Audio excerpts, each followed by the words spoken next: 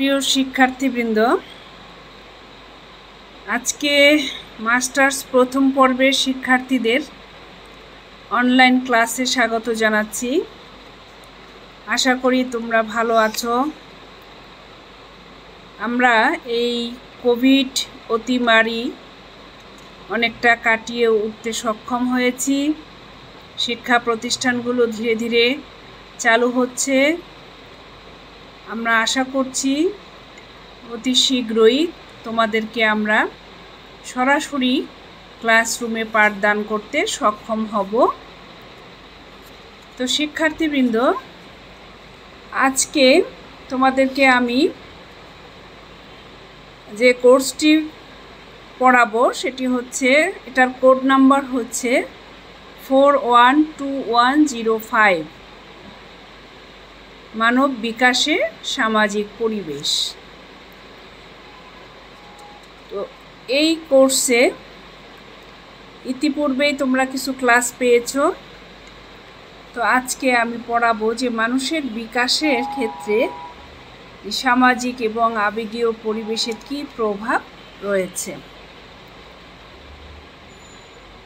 তোমরা জানো যে মানুষের যে বিকাশ সেটা দুভাবে হয়ে থাকে, একটা সামাজিকভাবে আর একটা হচ্ছে আবেগীয়ভাবে। এই দুই, দুটিরই সমান, এই দুইটি পরিবেশেরই সমান গুরুত্ব রয়েছে।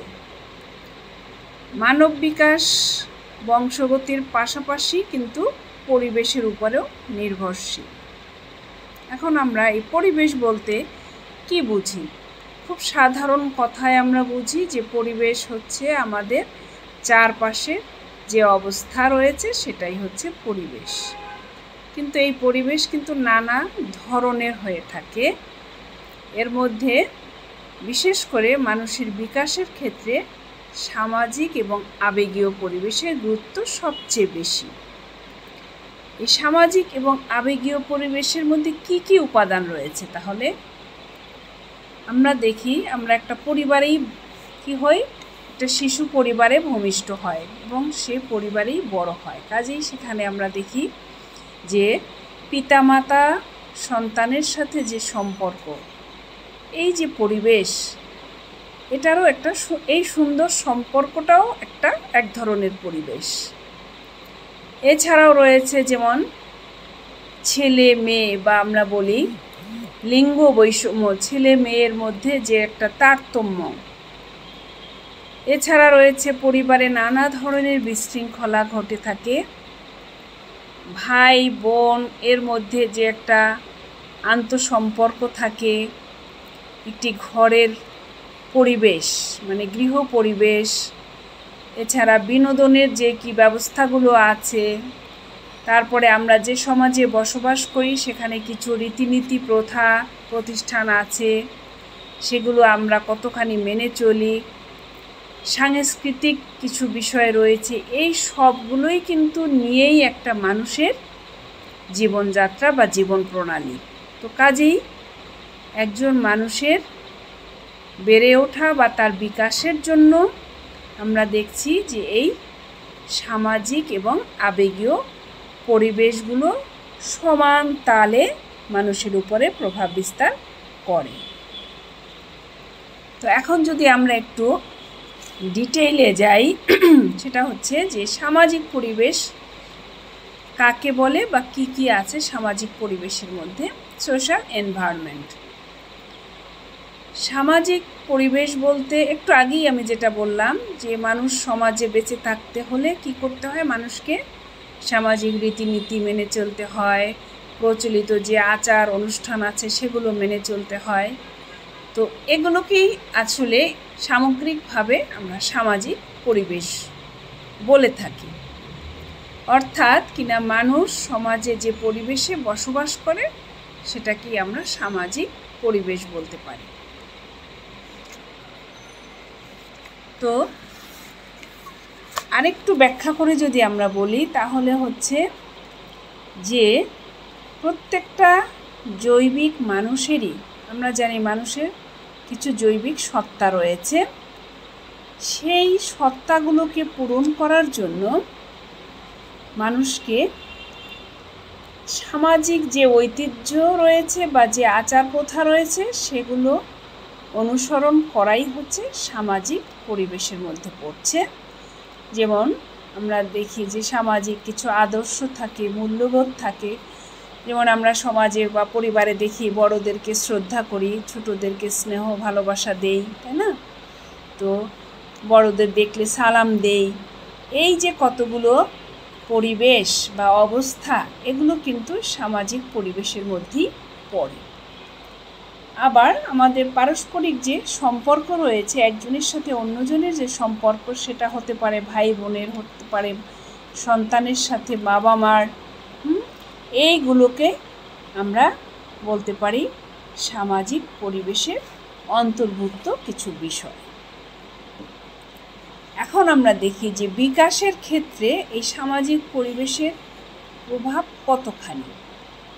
তোমরা জানো একজন মানুষের বিকাশের ক্ষেত্রে তার বংশগতি অনেক বেশি প্রভাবিত হয়। এর আগে তোমরা শিখে এসেছ যে একটা শিশুর জন্ম কীভাবে হয়, তাই না?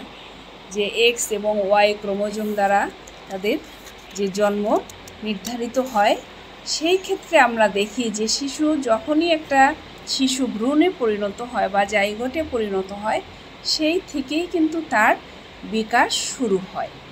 অর্থাৎ মাতৃগর্ভেই কিন্তু একটি শিশুর বিকাশ শুরু হয়।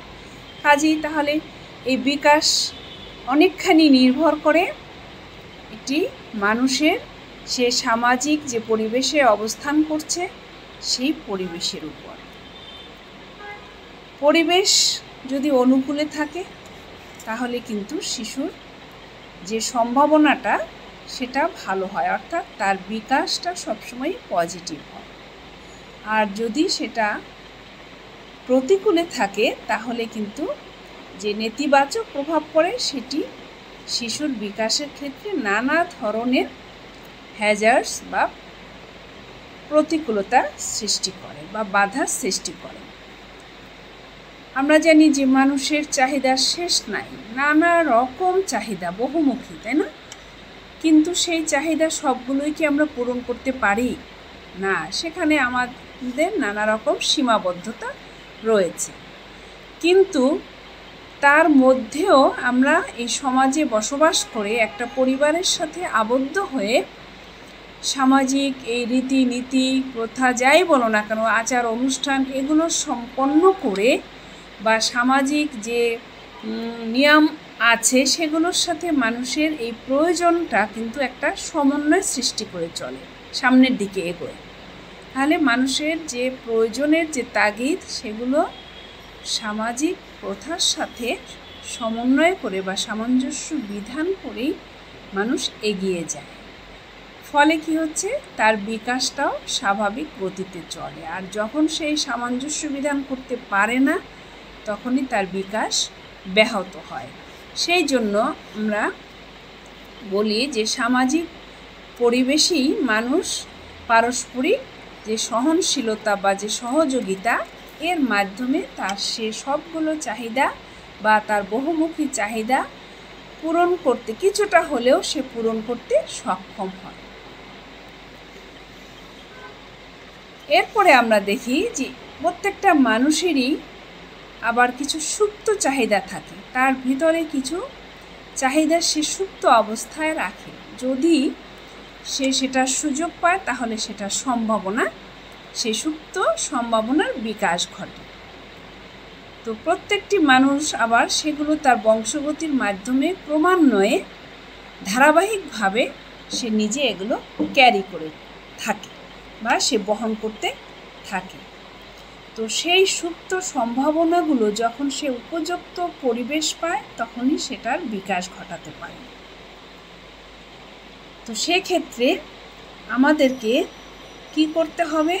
প্রত্যেকটা মানুষকে তার মর্যাদার স্বীকৃতি দিতে হবে। সে যে মানুষ, তারও যে বিভিন্ন চাহিদা থাকতে পারে, তারও হাসি, কান্না, আনন্দ, বেদনা, এগুলো থাকতেই পারে। এটা আমাদেরকে বুঝতে হবে। এই বোঝার ক্ষমতা দিয়ে আবার মানুষকে সেটা, তাকে তার মর্যাদাটাকে স্বীকৃতি দিতে হবে যে সে একজন মানুষ, সে সৃষ্টির সেরা জীব বা আশরাফুল মাখলুকাত। এটা যদি আমরা সেই মানুষকে দেই, তাহলে কি হয়? মানুষের নিজের মধ্যেও একটা আত্মমর্যাদা তৈরি হয়। এবং মানুষ, প্রত্যেকটা মানুষই চায় তার সেই আত্মমর্যাদার স্বীকৃতি। যদি আমরা মানুষকে সেটা স্বীকৃতি না দেই বা তাকে তার গ্রহণযোগ্যতা না দেই, তাহলে কিন্তু মানুষ তার স্বাভাবিক পথ থেকে অন্যদিকে বা অস্বাভাবিক পথে চলে যায়।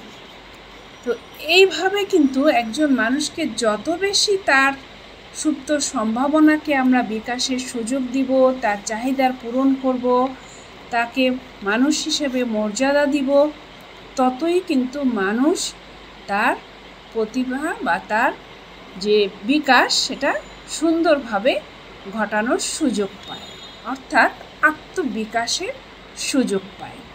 ফলে তার ব্যক্তিত্ব সুন্দরভাবে গড়ে ওঠে। আমরা আরও দেখি যে মানুষ কখনো কিন্তু একাকী বসবাস করতে পারে না। মানুষ হচ্ছে সঙ্গবদ্ধ জীব। সে সবসময় একসাথে, অনেকের সাথে মিলেমিশে বসবাস করে। একাকী সে বসবাস করতে পারে না। কারণ হচ্ছে, এই যে বললাম একটু আগেই যে মানুষের যে চাহিদাগুলো, সে সেটা যত বেশি অন্যের সাথে শেয়ার করবে, তত বেশি মানুষ তার জীবনকে কীভাবে সামনের দিকে এগিয়ে নিয়ে যাওয়ার প্রেরণা যোগাবে। তো এক্ষেত্রে আমরা বলি যে, মানুষের একটা, প্রত্যেকটা মানুষই চায় তার একটা, এটাকে আমরা বলব যে সিকিউরিটি বা নিরাপত্তা। সে চায় কি ধরনের নিরাপত্তা? যে তাকে কেউ মেরে ফেলবে তার? না। কি চায়? যে তার এই যে আনন্দ, বেদনা, তার সুখ হ্যাঁ? এগুলো সে সবসময় অন্যের সাথে শেয়ার করতে চায়। অন্যের সাথে ভাগাভাগি করে নিতে চায়। তার সুযোগ, সুবিধা সবগুলোই সে সবসময় অন্যের সাথে ভাগাভাগি করে বেঁচে থাকতে চায়। তো ফলে আমরা দেখি যে সমাজে মানুষ সবসময় কিছু না কিছু প্রয়োজন ফিল করে, কিছু না কিছু অভাব ফিল করে। তার সব কিছু আছে, কিন্তু সে আবার অনেক সময় দেখা যায় মানসিক কোনো সেবা বা সাহায্য বা সাপোর্ট চায়, তাই না? তো এই যে এটাকে আমরা বলি তার আবেগীয় পরিবেশ দিতে হবে। সে স্নেহ মমতায় বড় হয়ে উঠতে চায়। একটা শিশু দেখবা ছোটোবেলার থেকেই সে কী চায়? সে সবসময় অন্যের আদর পেতে চায়। এই যে এবং এর পাশাপাশি সে নিজেকেও আস্তে আস্তে ধীরে ধীরে সে যে বড় হচ্ছে, বড় হতে থাকে, সেই জিনিসটাও সে বুঝতে থাকে এবং তার নানা কার্যকলাপের মাধ্যমেই সে সেগুলোর বিকাশ ঘটাতে চায়। প্রথমেই কিন্তু একটা মানুষ কথা বলতে শিখে না। প্রথমেই সে হাঁটতে শিখে না। তাহলে আমরা দেখি সে কীভাবে এগুলো আস্তে আস্তে সে অর্জন করে, তাই না? সে এগুলো ধীরে ধীরে পারিবারিক সাহায্য, সহযোগিতা, সহমর্মিতা, স্নেহ, ভালোবাসায় সে যত বেশি এগুলো তার চাহিদাগুলো পূরণ করতে পারবে, তত বেশি সে এগুলোর বিকাশ ঘটিয়ে একজন সুস্থ, সুন্দর মানুষে বা পূর্ণাঙ্গ মানুষের পরিণত হতে পারে তো? আমরা এখন দেখি তাহলে। মানুষ যখন জন্মগ্রহণ করে তখন কি সে অনেকটাই অসহায় থাকে। কিন্তু তারপরে সে যখনই ধীরে ধীরে, সে কিন্তু তখন সম্পূর্ণটাই অন্যের উপরে নির্ভরশীল থাকে। অন্যের সাহায্য ছাড়া সে কিছুই করতে পারে না। তো ধীরে ধীরে আমরা দেখি সেই অবস্থাটা কিন্তু মানুষ এই সামাজিক বা সোশ্যাল এনভায়রনমেন্টে এসে যত বেশি তাকে আমরা সাপোর্ট দিতে পারি বা সহযোগিতা দিতে পারি, ততই কিন্তু মানুষ তার সেই অসহায়ত্ব কাটিয়ে উঠতে পারে। তো যত এই অসহায়ত্ব সে কাটিয়ে উঠবে, ততই সে তার আচরণেরও বিকাশ ঘটাতে পারবে। মানুষ ধীরে ধীরে একজন সে পূর্ণাঙ্গ মানুষে পরিণত হবে এবং সে নানা কার্যকলাপ করবে তার আচরণের মাধ্যমে। এক্ষেত্রে আমরা আরেকটা জিনিস দেখি যে প্রত্যেকটা মানুষের কিন্তু একটা সহজাত প্রবৃত্তি হচ্ছে কি? যে বংশ বৃদ্ধি করা বা বংশ রক্ষা করা, তাই না? সে কি হচ্ছে? এই সামাজিক পরিবেশই, অর্থাৎ কিনা পরিবারেই মানুষ কি করতে পারে? সে আমরা দেখি বিভিন্ন সামাজিক যে প্রথা আছে বা এই যে দেখো একটা বিবাহ বন্ধনে আবদ্ধ হয়, তারপরে সে সন্তান জন্মদান করে, লালন পালন করে, তাই না? এই যে পারিবারিক একটা পরিবেশে বা বলয়ে সে বেড়ে ওঠে, এটা এখানেই কিন্তু তার অনেক নিরাপত্তার প্রয়োজন হয়। আমরা যদি মানুষকে সেই তার এই সুস্থ, স্বাভাবিকভাবে তার এই বেড়ে ওঠা বা তার এই কার্যাবলীগুলো যেন সুন্দরভাবে সে পরিবারের মাধ্যমে করতে পারে, সেখানে কিন্তু আমাদেরকে নিরাপত্তা বা সহযোগিতার হাত বাড়িয়ে দেওয়া উচিত। তো তাহলেই সে এটা সুন্দরভাবে এই যে আমরা বলি বংশবৃদ্ধি বা রক্ষা করা, এটা সে স্বাভাবিকভাবে করতে পারে। মানুষকে মানুষ হিসেবে দেখতে হবে। এরপরে আমরা যখনই সে একজন পূর্ণাঙ্গ মানুষ হবে তখনই তাকে আমরা আবার কি করব? মানুষকে সম্পদে পরিণত করব, তাই না? মানব সম্পদ উন্নয়ন আমরা বলি যে মানুষ যেন বোঝা না হয়, সে যেন তার কর্মের মাধ্যমে, তার শিক্ষা, তার হ্যাঁ দীক্ষা এগুলোর মাধ্যমে সে নিজেকে সম্পদে পরিণত করতে পারে। মানে সে নিজের বিদ্যা, বুদ্ধি, জ্ঞান দিয়ে যেন আবার কর্ম সম্পাদন করে সে আয় উপার্জন করতে পারে। যখনই সে কর্মক্ষম হবে, আয় বৃদ্ধি করতে পারবে, তখনই আমরা বলব যে মানব সম্পদ উন্নয়ন ঘটেছে। তো সেই ক্ষেত্রে মানুষের কিছু স্বীয় ক্ষমতা এবং সামর্থ্য সে যেন সুন্দরভাবে ব্যবহার করতে পারে, সেটাও আমাদের খেয়াল রাখতে হবে। সেক্ষেত্রেও কিন্তু তার জীবনযাপনের জন্য আমাদের একটা ইতিবাচক পরিবেশ সৃষ্টি করতে হবে। সামাজিকীকরণও একটা বিশাল ব্যাপার, তাই না? সোশ্যালাইজেশন মানুষ কিন্তু এই যে বললাম যে সে পরিবারই প্রথম জন্মগ্রহণ করে, আবার সে পরিবারকেই মৃত্যুবরণ করে। তাহলে এই যে জন্ম থেকে মৃত্যু পর্যন্ত এই বিশাল একটা সময়, এই সময়ে মানুষ কি করছে? সমাজ থেকে, পরিবার থেকে বিভিন্ন জিনিস সে কী করে? অর্জন করে। আবার সেগুলোকে কাজে লাগিয়ে সমাজের জন্য নানা কাজ করে সমাজে তার অবদান রাখে। আবার সমাজকেই কিন্তু সে ফিরিয়ে দেয়। তো এই বৃহৎ সময়ের মধ্যে যখন কিনা মানুষ কি করছে? তার সামাজিক দায় দায়িত্ব পালন শিখছে এবং পাশাপাশি পালন করে সমাজের উন্নয়ন ঘটাচ্ছে, তখনই আমরা বলি সামাজিকীকরণের মাধ্যমে তার এটা সম্পন্ন করছে। আর যদি আমরা তাকে এই সুযোগটা না দিই, তখন কি হয়ে যায়? সে একজন ফেরেল মানুষে পরিণত হয়ে যায়। ফেরেল মানুষটা কি? যে যাকে কিনা আমরা কেবল জন্মগ্রহণের সুযোগ দিলাম, কিন্তু তাকে সামাজিক বা আবেগীয় বিকাশে সুযোগ দিলাম না। তখন কি হবে? সে মানুষ হবে, কিন্তু সে পশুর মতো, সে কথা বলতে শিখবে না, তাই না? সে হাঁটা চলা শিখবে না। তাহলে তখন সে হবে, দেখা যাবে এটাকে আমরা বলি ফেরেল মানব, তাই না? দেখতে ঠিক পশুর মতো হয়ে যায়, অর্থাৎ তার সামাজিকীকরণের সে সুযোগ পায় না। সেটা আমরা তাহলে দেখি যে প্রত্যেকটা মানুষকেই তার আবেগীয় বুদ্ধিভিত্তিক সাংস্কৃতিক, সামাজিক এই যে কর্মকাণ্ডগুলো রয়েছে, সেগুলোর সুযোগের বা বিকাশের সুযোগ দিতে হবে। সেজন্য এগুলোর বিকাশ ঘটাতে পারে। অন্যের সাথে ভাবের আদান প্রদান ঘটিয়ে কমিউনিকেশনের মাধ্যমে যেন সেগুলোর বিকাশ ঘটাতে পারে, সেই দিকে আমাদের লক্ষ্য রাখতে হবে। সমাজে আমরা মাঝে মাঝে দেখি নানা রকম সামাজিক বিশৃঙ্খলা ঘটে, তাই না? এই ক্ষেত্রে সামাজিক কিছু নিয়ন্ত্রণেরও কিন্তু দরকার আছে। আমরা জানি যে প্রত্যেকটা মানুষই সামাজিক এবং ধর্মীয় নিয়ন্ত্রণ দ্বারা পরিচালিত হয়। সমাজে তাকে অনেক বিধি নিষেধ মেনে চলতে হয়, তাই না? এটাই কিন্তু সামাজিক নিয়ন্ত্রণ।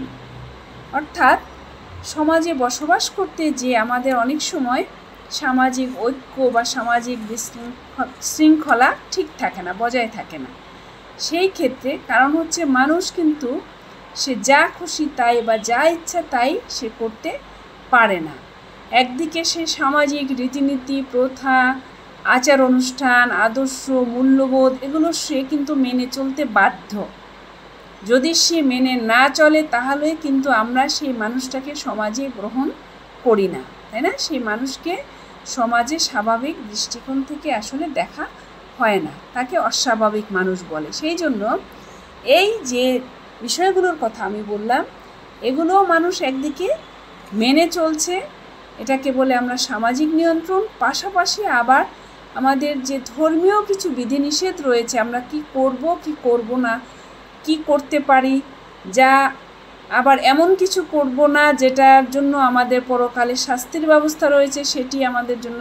তো এই বিষয়গুলো মানুষকে মাথায় রাখতে হবে। তাহলে এগুলোকে আমরা বলতে পারি সামাজিক এবং ধর্মীয় নিয়ন্ত্রণ। এটাও কিন্তু একটা মানুষের সুষ্ঠু, স্বাভাবিক বিকাশের ক্ষেত্রে অত্যন্ত গুরুত্বপূর্ণ একটি পয়েন্ট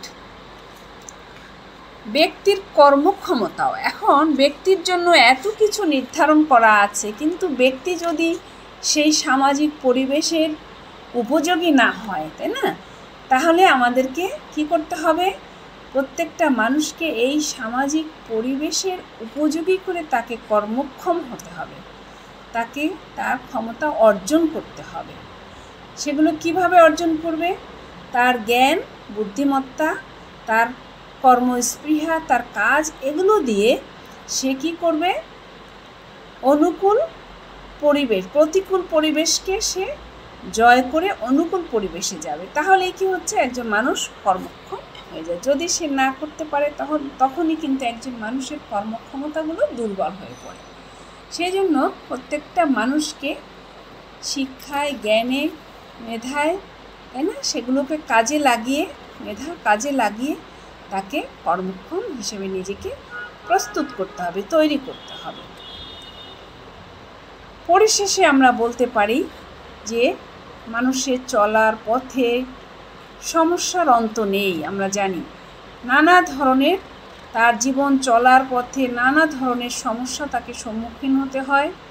কিন্তু সেক্ষেত্রে তাকে বিচলিত হলে চলবে না বা তাকে সমাজ থেকে বিচ্ছিন্ন হলেও চলবে না। তাহলেই কিন্তু কোনো সমস্যারই সমাধান হবে না।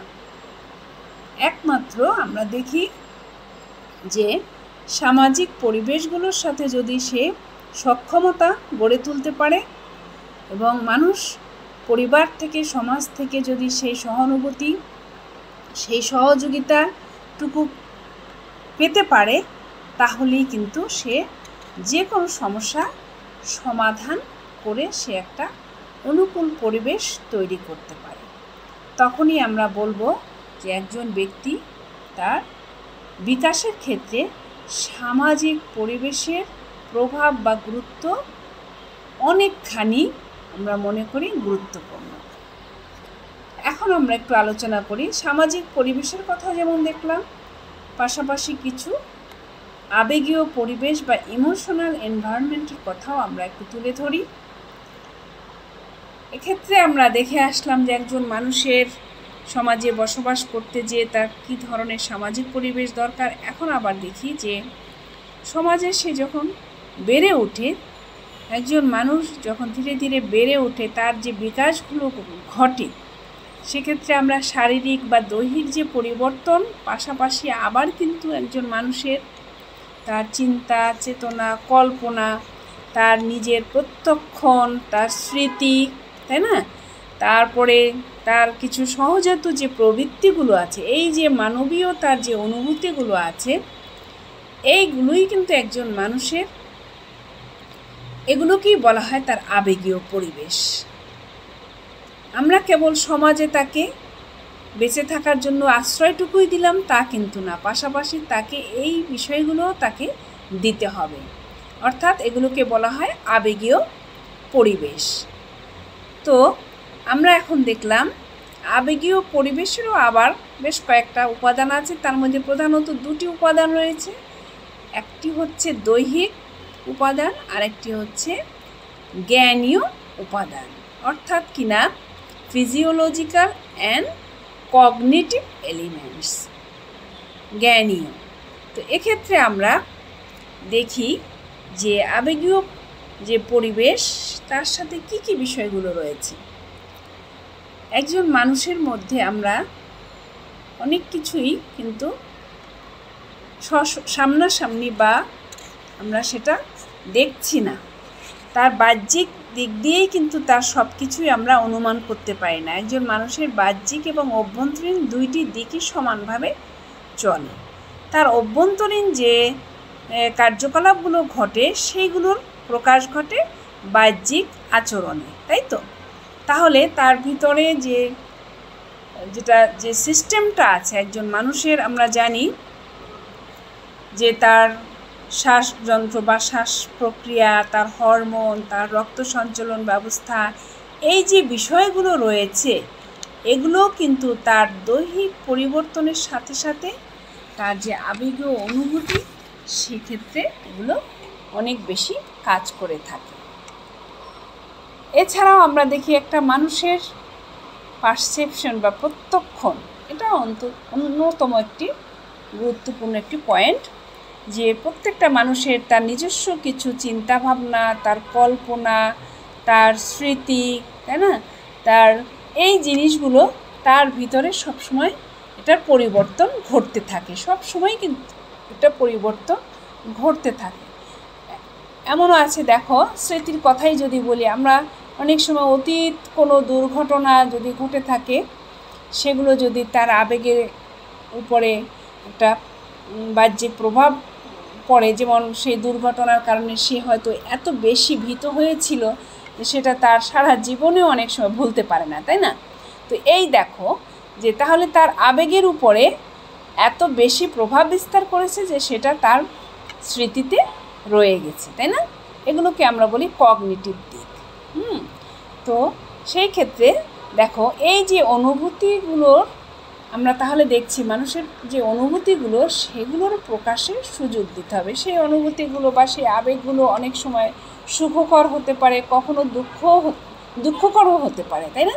এমন কিছু স্মৃতি আছে খুব সুখকর, যা কিনা মানুষকে সবসময় আলোড়িত করছে, তাই না? খুব তার একটা ভালো লাগা তৈরি হচ্ছে সবসময়। ফলে কি হচ্ছে? সে নানা কাজের প্রতি আরও বেশি উৎফুল্ল সহকারে করছে, তাই না? তার কর্মস্পৃহা বাড়িয়ে দিচ্ছে আবার এমন কিছু দুঃখজনক স্মৃতি আছে যেটা কিনা তার এই অনুভূতি প্রকাশের ক্ষেত্রে বা তার আবেগের বিকাশের ক্ষেত্রে আবার সেটা বাধার সৃষ্টি করে, তাই না? তো অনেক সময় ছোটোবেলায় মানুষ অনেক কিছু দেখে ভয় পায়, তাই না? ফলে কী হচ্ছে? সারা জীবন কিন্তু সে সেই বিষয়টাকে এড়িয়ে চলার চেষ্টা করে, একটা পালিয়ে বেড়ায়, নিজেকে আত্মরক্ষার চেষ্টা চালায়।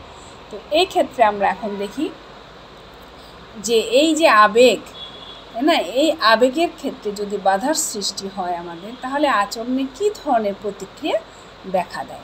একটু আগে আমি যেটা বললাম যে মানুষের কাজ করার যে একটা ক্ষেত্র, দেখো, সেক্ষেত্রে একটু আগে বললাম যে দুইটাই প্রভাব বিস্তার করে। যদি তার মধ্যে ভালো কোনো ফিলিংস থাকে, তাহলে সেটা তাকে, তার কর্মস্পৃহাকে বাড়িয়ে দিবে। তার জৈবিক, স্নায়বিক একটা পরিবর্তন ঘটাবে, তাই না? ফলে কী হচ্ছে? তার মধ্যে যে প্রতিক্রিয়াটা, সেটা একটা দ্রুত আমরা প্রতিক্রিয়া লক্ষ্য করি।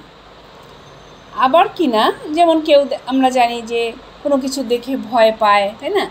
সেই, এই যে ভয় পাওয়াটা, এই যে একটা নেতিবাচক প্রতিক্রিয়া, ফলে কি হচ্ছে? তার একটা দৈহিক উদ্দীপনার ক্ষেত্রে একটা প্রভাব বিস্তার করছে। আমরা স্টিমুলাসের কথা জেনে এসেছি, তাই না? স্টিমুলাস তো এই স্টিমুলাস এবং রেসপন্স দেখো, যদি আমার যে অঙ্গ প্রত্যঙ্গগুলো সেটা ইফেক্ট করে, সেটা, সেই অঙ্গ প্রত্যঙ্গগুলো হচ্ছে কিন্তু স্টিমুলাস অর্গানটা। এবং আমরা তার পাশাপাশি সেই অর্গানগুলোর মাধ্যমে আবার যখন প্রতিক্রিয়া ঘটাই, যেমন কোনো কিছু ভয় পেয়ে আমরা কান্না করে দেই বা আমরা শিহরিত হই, তাই না? এই যে শিহরণ বা এই কান্না করে দেয়, এগুলো হচ্ছে কি রেসপন্স বা প্রতিক্রিয়া। তো এখন আমরা দেখি যে আমাদের এই আচরণের বিকাশের ক্ষেত্রে আবেগ বিশেষ গুরুত্বপূর্ণ। তারপরে হচ্ছে আবেগ আমাদেরকে আর কি কি শেখায়? আমরা সমাজে নানা ধরনের সামাজিক আচরণ শিখে থাকি, তাই না? আমাদেরকে এটা করতে বলা হয়, এটা করো না, এটা করো, ভালো কাজ করতে বলা হয়, খারাপ কাজ থেকে বিরত থাকতে বলা হয়।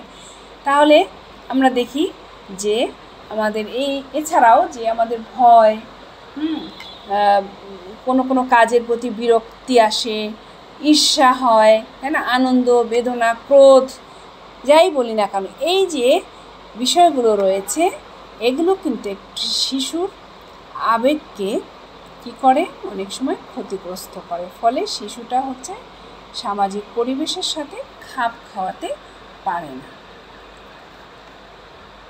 এছাড়া আমরা দেখি যে নেতিবাচক এই অনুভূতির কারণে অনেক সময় মানুষ তার যে আচরণটা করার কথা মানে যথাযথ যে আচরণ, সেটা সে ঠিকমতো করতে পারে না। মানে যথাযথ আচরণ সম্পাদন করতে ব্যর্থ হয়। তোমরা জানো যে প্রত্যেকটা মানুষই এই সামাজিক এবং আবেগীয় এই পরিবেশের সাথে সবসময় নিজেকে অ্যাডজাস্টমেন্ট ঘটায়। আমরা মেথস্ক্রিয়া পড়ে আসছি, তাই না? ইন্টারঅ্যাকশনের মাধ্যমে একজন মানুষ, যত অন্য মানুষের সাথে তার এই আবেগগুলো শেয়ার করবে, আদান প্রদান করবে, ততই তার সামাজিক মিথস্ক্রিয়া ভালো হবে। সে একজন সুস্থ, স্বাভাবিক, পূর্ণাঙ্গ মানুষে পরিণত হবে। তো সেই, এই যে যথাযথ আচরণ সম্পাদনের ক্ষেত্রে তাহলে আমরা দেখি যে তার আবেগ, সামাজিক আবেগ এবং তার সামাজিক পরিবেশ এবং আবেগের যে পরিবেশ, এই দুইটাকে সমান গুরুত্ব দিতে হবে। তো প্রিয় শিক্ষার্থীরা, তোমরা দেখলে যে একজন মানুষের আচরণের ক্ষেত্রে বা একটা শিশুর বিকাশের ক্ষেত্রে তার সামাজিক পরিবেশ এবং আবেগীয় পরিবেশ দুইটাই সমান গুরুত্বপূর্ণ। কোনোটাই কম নয়। দুইটাকেই আমাদেরকে সমান গুরুত্ব দিয়ে দেখতে হবে। তাহলেই আমরা সমাজে একজন মানুষের আচরণ সেটা তার পিতামাতার সাথে বাবা মায়ের যে সম্পর্ক, সমাজে অন্যান্য মানুষের সাথে, তার সামাজিক প্রথা প্রতিষ্ঠানের সাথে সর্বক্ষেত্রেই সে তাল মিলিয়ে চলতে পারে এবং তার যে ব্যক্তিত্ব, সেটাও সে সুন্দরভাবে গড়তে সহায়তা করে। এক্ষেত্রে শিশুদের বিকাশটাই নিয়ে আমি আজকে তোমাদের আলোচনা করলাম। কারণ একজন মানুষের শুরুটা কিন্তু তার শিশু বয়স থেকেই শুরু হয়। এই সেই ক্ষেত্রেই তাকে সেই বয়স থেকেই আমাদেরকে এই বিষয়গুলোর প্রতি অত্যন্ত মনোযোগ দিতে হবে। তো আশা করছি তোমরা এই বিষয়টা ভালোভাবে বুঝতে বা উপলব্ধি করতে পেরেছ। তো আজকে আমি তোমাদের এই ক্লাস থেকে বিদায় নিচ্ছি। পরবর্তী ক্লাসে আশা করি তোমরা উপস্থিত থাকবে। ধন্যবাদ সবাইকে।